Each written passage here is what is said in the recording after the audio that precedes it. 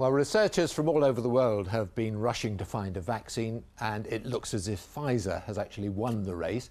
But it's just one vaccine, and there will be others that do a different job. Professor Jonathan Heeney from Cambridge University is working on one of those. We're at the uh, phase one um, clinical trial preparations. That's the early safety uh, phase. The Pfizer BioNTech is at phase three, uh, they're in middle of their, their phase three program. They've had interim analysis because of a number of infections. And when they, um, if you like, decoded who received what, whether it was placebo or the vaccine, they reported an approximate uh, 90% efficacy level at this early time point. And, and as far as you're concerned, uh, how are things going with yours? Uh, well, we're working with DNA uh, rather than RNA. So DNA is a, a more stable product. It takes longer to produce.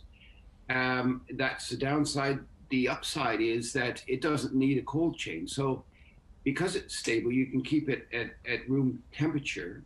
And our vaccines are able to be shipped around the world uh, without the logistic problems of, of minus 80 and furthermore, they can be administered um, without a needle, directly through the skin.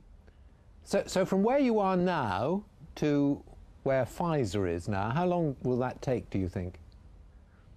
That'll take um, uh, at least six to nine months.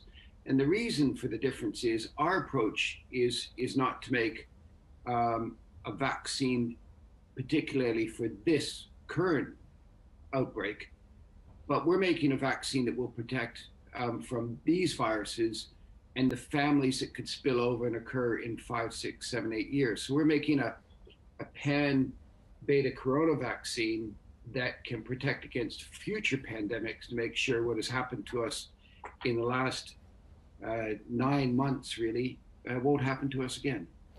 So, so presumably that means that if the Pfizer one is approved in this country, that will get us through another year, and then yours would get us through for a long time. That's that's the target that we're aiming for. Exactly, Stewart. There have been questions from people who say this has happened so quickly. I'm not sure that it's safe. What would you say to those people? Rest assured that um, at least in in Western countries where there's really good regulatory practices, there won't be a vaccine that is launched until there is uh, good safety data. And that's why um, it is going to, and why it has taken so much time until now. Professor, it's fascinating to talk to you. Thank you so much for being with us. It's a pleasure. Thank you, Stewart.